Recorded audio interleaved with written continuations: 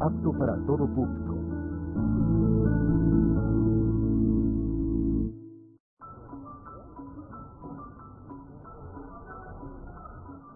Vamos a preparar la torta superastro, que es un baguette de 40 centímetros, pesa 2 kilos 50 gramos y lleva bistec, pollo, jamón, tocino, salchicha, huevo, queso y chorizo.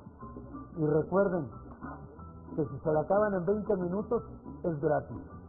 Entonces, ahorita vamos a, a prepararla. Ah, y también este, les aclaro, todos los sabores les alcanza a paladear lo que es o como saben. Cuando inaugura, inauguramos el negocio de las tortas, mi compañero Baby Face y yo, y por hacerle la broma a un compañero, de ahí empieza la torta que nos ha abierto las puertas a nivel mundial. Hemos estado en Japón, en Canadá, en Estados Unidos, en Centroamérica, y gente de todos esos países nos vienen a visitar aquí a México. Porque dice el dicho, que el que no visita la capital, no visita a Superastro, gente de la lucha libre, no, no vino a México. Está como cuando vienen a la, a la Arena México.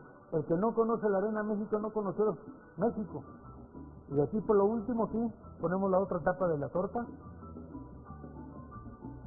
Y esta es la torta superastro. Para delectarlos y para que la prueben. A ver si es cierto. ¿Tienen al bueno que se le iba a acabar? Viene un, una baja de la lucha libre que empezaron, empezamos a tener problemas, que no había mucho trabajo y la idea era de poner algo a futuro, que gracias a Dios pues a, se llegó a vivir ese futuro. Entonces la gente cuando viene y ve todo eso se emociona porque dice, oye, hasta la cocina tiene ring, pues algo tenemos para que la gente se sienta, se, se, se llene de ese humor que cuando va a las arenas se emociona. Aquí también quiero que se emocione. Desde el primer momento que, que quisimos hacer una cosa así, siempre fue el, motivo la lucha libre. Y la lucha libre era pues de tener fotos de compañeros, máscaras de luchadores y de diferentes, de estrellas, de gente que ya no está con nosotros. En realidad, la gente que se sienta como si estuviera en una, en una, en una arena de lucha libre. 44 años de luchador profesional y 29 años con el negocio.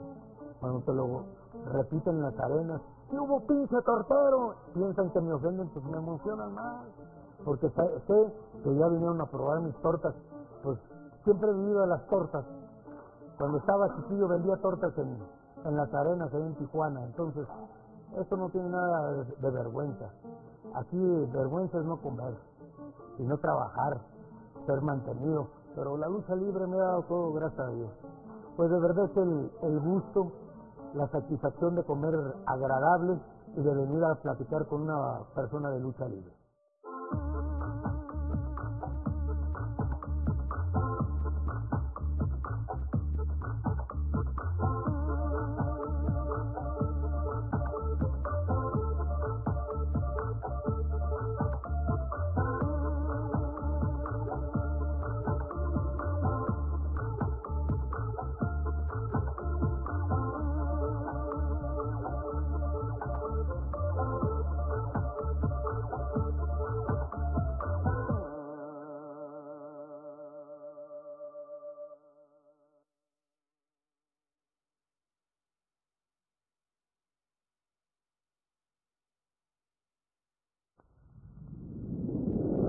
Amenaza llega a la Tierra.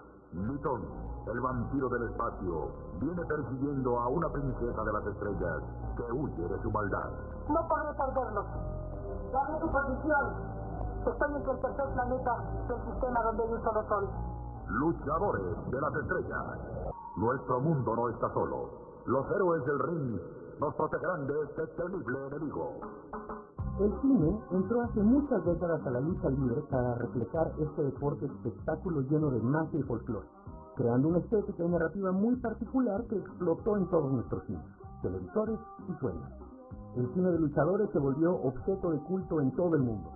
Pero la lucha libre no solo conquistó el cine, sino que logró permear muchos otros espacios fuera del ring, generando ideas y expresiones.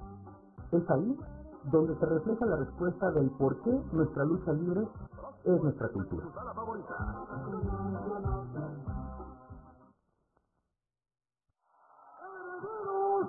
de la euforia de la lucha libre,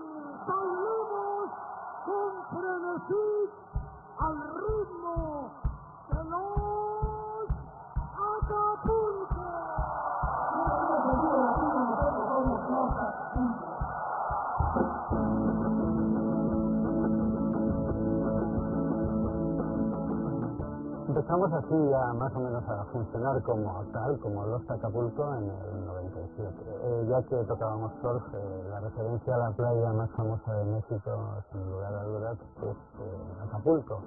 Y lo de Lost es por el perdido, ese Acapulco de los 60, de los 70. Y para empezar somos muy, muy fans aguerridos de la lucha libre. Yo creo que eso es algo también que tenemos muy en común. Nos gusta la lucha, nos gusta eh, ir a la arena. Y de repente nos encontramos con, con que Los Acapulco ya tenía demasiadas giras alrededor del mundo. Y este y somos una banda de instrumental. Entonces hasta cierto punto, pues eso puede jugarte una mala pasada.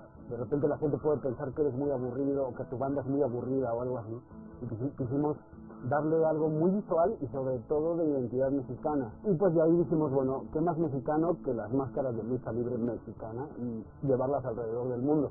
Fue así que, que nos empezamos a poner máscaras. Y ¡pum! ¿no? Ya pasó todo lo que, lo que ya sabemos. Como vemos que ya se cansaron, podemos tocar alguna balada también. O podemos tocar la siguiente rola que se llama Frenesí. Repente ya, ve que es el dress code de todos los, shows de los, en el festival que quiera, en donde sea que esté, si están los Acapulco ahí, neta, hay un chingo de enmascarados, pero un chingo, muchísimo. Ponerte una máscara es transformarte, eh, sacar ese, otro yo que todos tenemos, ¿no? De alguna forma. Yo creo que ese es el éxito de la máscara, por supuesto, ¿no? Y es muy frecuente el encontrarte ahora enmascarados en, eh, digamos, en Guatemala, en Argentina, en Chile, en Perú, en Francia, en España. Y con el tema de la música, pues combinaba muy bien. Esa música un poco más rasposa, instrumental, con esa garra y esa fuerza, pues yo creo que eh, era la combinación perfecta y ahí está, nos ha funcionado durante tanto tiempo. Para todos los que después del Vive Latino se van a ir a un hotel. Olvidemos el romance. Y cojamos ya. Ya no te hagas. La tocada de los Acapulco que estabas esperando, sin máscara. No, porque perderíamos seguramente toda esa magia. eh, Sería que ni hacernos, digamos. Precisamente no somos ahí como que, digamos, unos galanes, o no creo que nadie. Aparte, todo el mundo ya nos conoce, con y sin máscara, ¿no? Que es lo divertido también de esto, es decir, tampoco somos personajes que tengamos que guardar nuestra identidad, ¿no? No, yo creo que la, la máscara, la lucha libre y Lost eh, yo creo que es un, digamos, un conjunto pues, que no nos separaremos nunca, creo, mientras seamos un grupo. ¿no? Música de Los Acapulco en cualquier eh, lugar, con una máscara y una tela sobre todo, sabe mejor, definitivamente.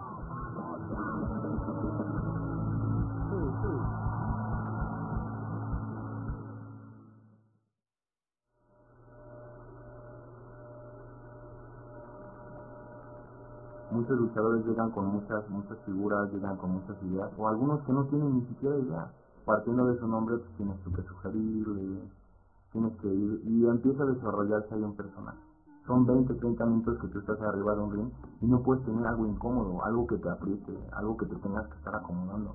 Entonces la máscara tiene que ser algo que a la, a la vez te haga sentir bien, te haga, te haga pavonearte arriba del ring, porque lo que quiere el luchador es eso, lucir. Entonces, ¿desde dónde empieza eso? Desde el diseño. Pues mira, el diseño empieza desde el tipo de funda que quiere el, el luchador. Se lleva a, a unos moldes de, cartón, y ese tipo de moldes, Y el resultado después de eso, que es el, digamos el patrón de la, de la, del antifaz, y desde ahí empieza a hacerse el armado. Aquí ya tengo cortadas las piezas, lo que son las, las dos piezas laterales, lo que es la tapa de la, de la cabeza. Lo más comercial, digamos que lo más vistoso y lo que está a la mano de todos es, este tipo de litra, la litra Ya lo más clásico es, el, bandón o es la litra normal, que es la que utilizan tanto las gimnastas como algunos otros, este, como bailarinas, son especiales para eso, son telas deportivas. La máscara de litra es más resistente, se viene durando que será unas cinco o seis puestas y las máscaras, las, las de bandón, es así, con un jalón que te den, si se llegan a rasgar. Aquí tengo dos, dos que son, digamos que lo clásico, clásico. Que es el, tipo de boca como el, que nada más muestra la, la, es la boca, la nariz y los ojos. Y de ahí partimos ya con la otra que, que ya está, es, es más cómoda, ¿por qué? Porque te permite hacer la gesticulación y en la actualidad, de unos años para acá, se ha, puesto de moda el utilizar toda la máscara cerrada, que nada más sea una máscara nada más para meter. Ya no utiliza el agujetero como antes. Y como esta otra, igual tiene la boca cerrada, pero tiene la abertura de la, nariz. Y como puedes ver, tiene una, una agujeta que a la, a la vez, cuando, para que no te la quiten, pues la tienes que cerrar, ¿no? Y eso también aumenta un poquito la, incomodidad. En, en mi punto de vista, yo pienso que una máscara pues debe de dejar de ver un poquito la parte del luchador, no sé, los ojos o la boca. ¿Por qué? Porque la gente quiere ver eso, un poquito de lo que traes abajo de eso. Pero las máscaras yo considero que pues que son más, más bien productos artesanales, es una pieza única. Puedes hacer muchas, puedes hacer 10 máscaras, pero no te van a salir igualitas. En la lucha libre mexicana pues ya se volvió el icono, ¿no? Eh, representa al mexicano como un guerrero, ¿no? Como una persona que está luchando por, por ganar. Toda la, toda la gente lo hace. Se pone una máscara y lo primero que hace es alzar los brazos y demostrar que es fuerte. Pero yo creo que esto llegó para quedarse y es parte de la lucha libre. Entonces, no creo que vaya a desaparecer. Tú vas a un mercado, tú vas a alguna plaza, en todos lados hay lucha. ya la lucha está en todos lados, ¿no? Y, y, y lo más padre es que lo que la retrata es la máscara.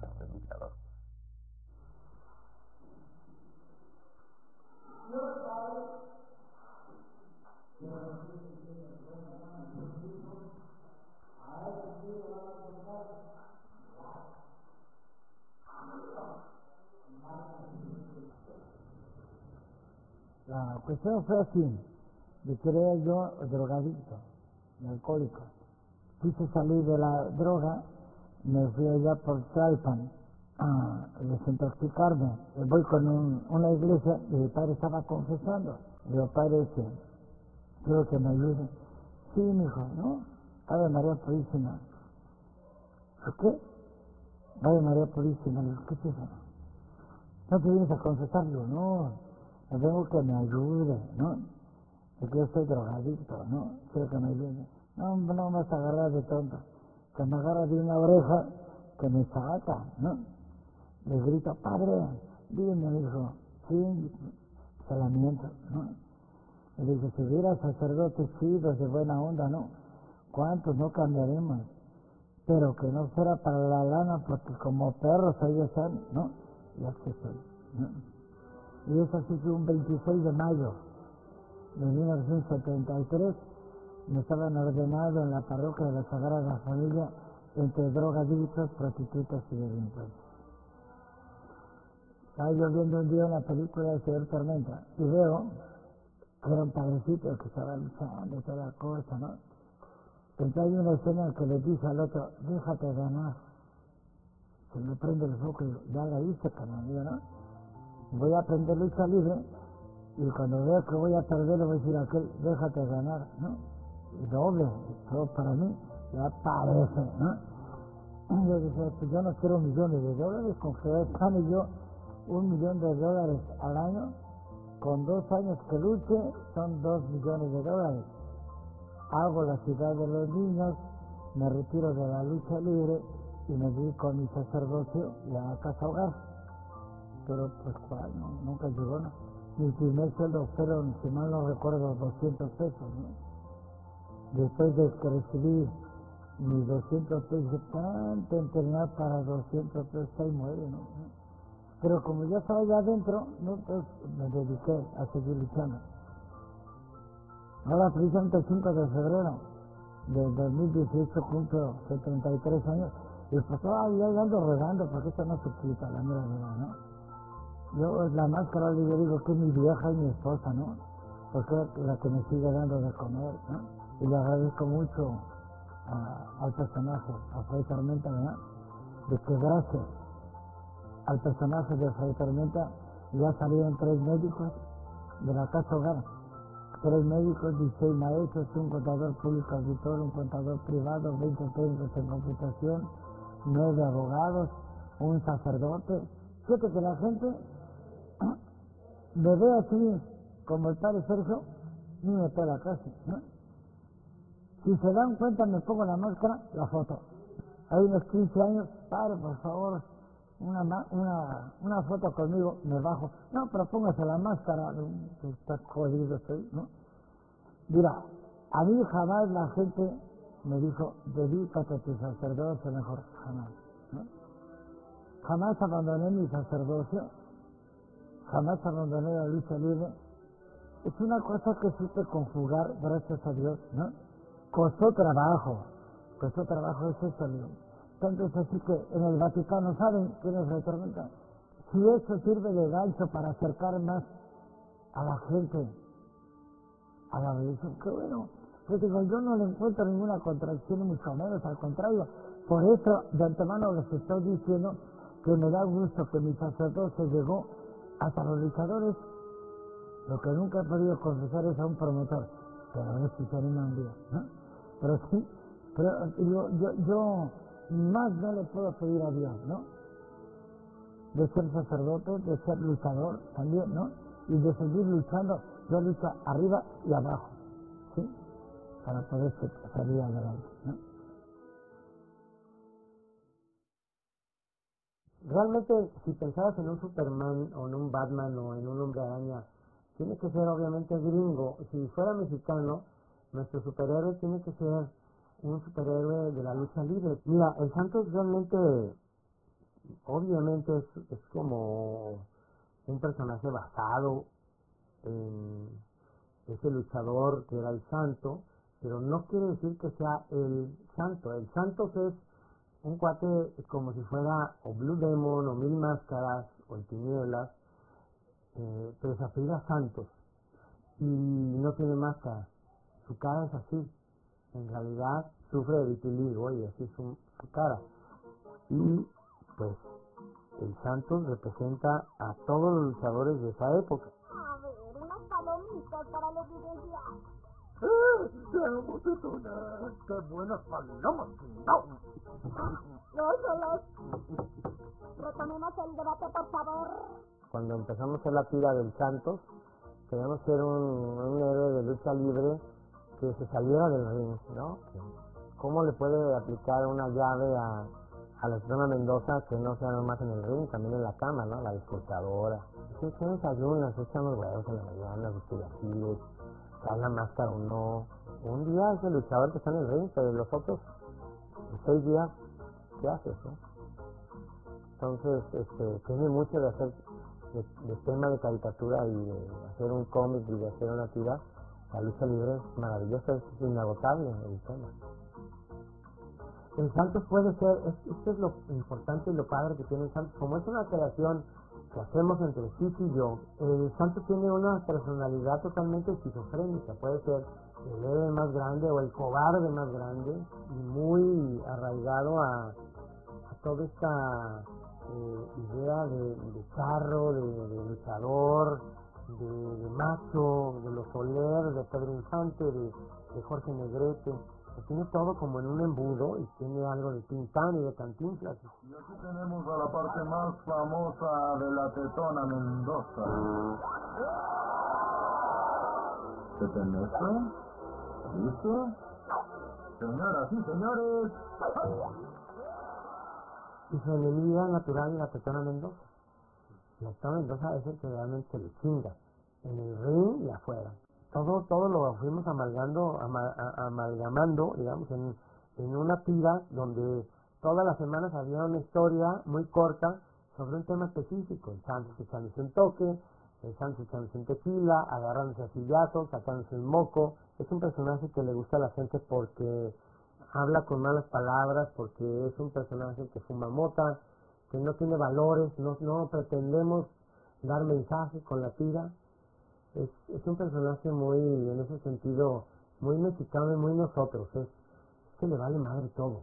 El Santos es un poquito sacarlo de esa de ese marasmo y de esa cosa cotidiana terrible que es este país con la violencia por las drogas y por el narcotráfico y sobre todo el peor cáncer de ese país que son los políticos. Y aquí está la evidencia, una foto del peyote con sangre. Está al revés la foto, idiota.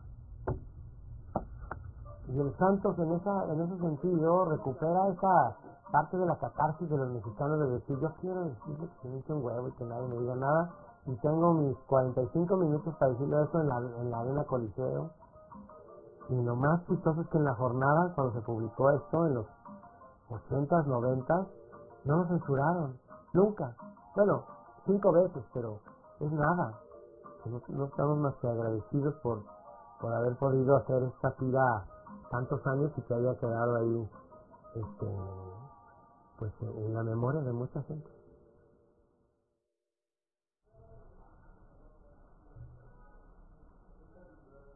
Bueno, eh, todo, todo este material es el que se fue reuniendo a través de mis 30 años de metida en la lucha libre. Este, y con todo este material se fue haciendo la, la edición, que costó muchísimo trabajo porque pues tenía yo miles de negativos me dediqué primero a la acción, y, pero luego obviamente iba yo con más intención de enfocarme al público. Entonces también saqué fotos del público, que me pareció muy interesante. Luego también, bueno, pues las mujeres, ¿no? Porque las mujeres me, me dieron una perspectiva de otro tipo de feminidad, ¿no? Y me hice muy amiga de ellas. Entonces toda esta parte también de haber tenido la oportunidad de convivir con ellos en sus casas, pues me dio otra perspectiva, ¿no? Porque todo el mundo sabemos eh, y conocemos al luchador en el ring, pero no este no sabemos realmente cómo vive. Esta foto tiene una anécdota muy bonita porque ya nos habíamos echado toda la sesión de fotos y después de la sesión de fotos me dice, Lourdes, tenemos que volver a hacer la sesión. Digo, ¿por qué maestro? Porque se le había olvidado el pañuelo. Entonces hubo que volver a hacer las fotos con el pañuelo porque era de una elegancia impresionante y esa, esa es también otra que, que ha tenido mucha proyección, la del santo firmando, porque sí, verdaderamente las actitudes de, ¿no? De sorpresa de ver este personaje maravilloso, tan querido, tan aceptado, tan este, aplaudido, en la lucha libre tienes gigantes, enanos, eh, gays, eh, de todo hay. Y está bien, porque es una representación de la vida, ¿no? La lucha libre es como la vida, ¿no? En mi casa, desde que apareció la tele, se privó tele, entonces me, eh, eh, pasaban luchas y me encantaron. Y nunca me quisieron llevar por ser mujer, entonces ya cuando uno tiene su camarita, puede resolver todas sus este, ansiedades infantiles, curiosidades, entonces pues un día me lancé a sacar fotos a la, a la coliseo, me acuerdo. Era un ambiente que desde el principio me encantó, porque era un ambiente este de barrio. Pero justamente en, en la lucha libre encontré al indio urbano, ahí estaba el México profundo luchando, pero era eran los mexicanos mexicanos, ¿no? Entonces me, me encantó descubrir un México que yo no conocía. Pero ¿cuál es mi forma de documentar eso? Pues la imagen. Entonces por eso ese era mi recurso y por eso uso la fotografía. Y todo el mundo me decía nata. Me dijo, tus fotos son nat la, nat la nata es pura. Por lo de repente ya todos se, hicieron nacos y entonces vi algún interés por hacer un libro. Entonces así fue mi, mi, principio de desarrollo, siempre experimentando, experimentando, experimentando. Y así lo asumí. Y la neta me lo he pasado poca madre toda mi vida. O sea, porque me divierto, hago lo que me da la gana. En, en alguna ocasión Cristina Payán me decía, es que lo que has hecho por la lucha libre, le dije, no Cristina, lo que la lucha libre ha hecho por mí. O sea, porque realmente fue un aprendizaje profundo.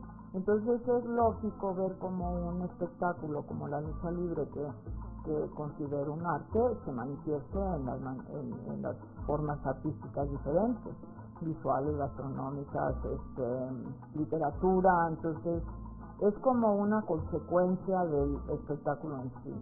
Hay muchísimos fotógrafos importantísimos antes que yo, pero, pero todo se quedaba así como pues, se, se, imprimían, no sé, este, en, las revistas de lucha especializadas, nunca salió de ese ambiente, ¿no? Entonces creo que lo que mi trabajo hizo fue sacarlo a otro ambiente y, y, y, y, coincidiendo con esta explosión, bueno, pues me da mucho gusto lo que haya pasado, ¿no? Pero yo proponérmelo nunca me lo propuse, ¿no? Pero sí, por supuesto, me da mucho gusto que sucedan esas cosas, ¿no?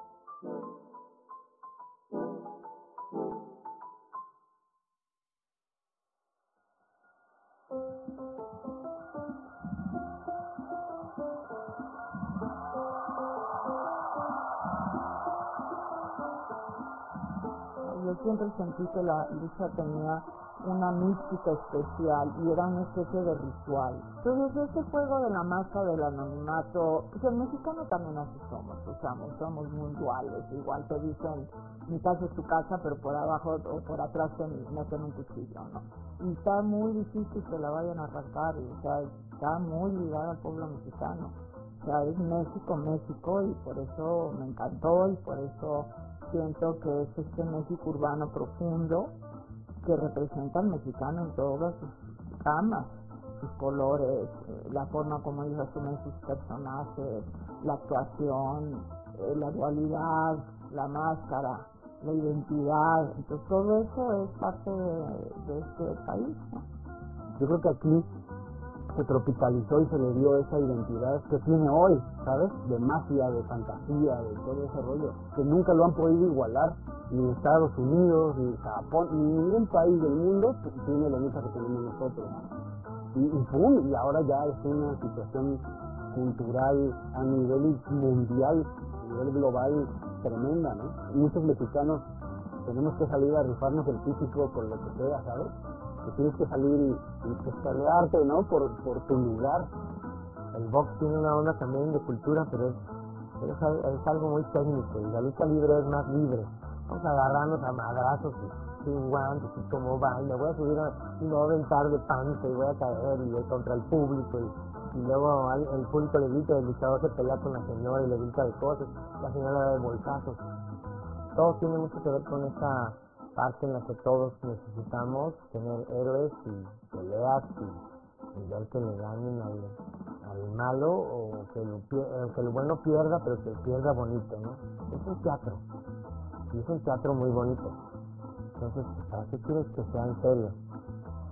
La lucha libre tiene que ser salsa, pero hermosamente salsa y que, que se en ella.